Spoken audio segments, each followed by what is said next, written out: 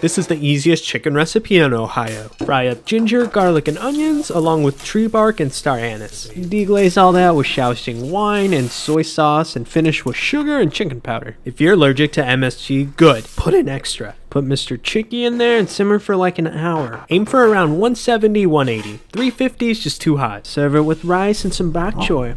Mm,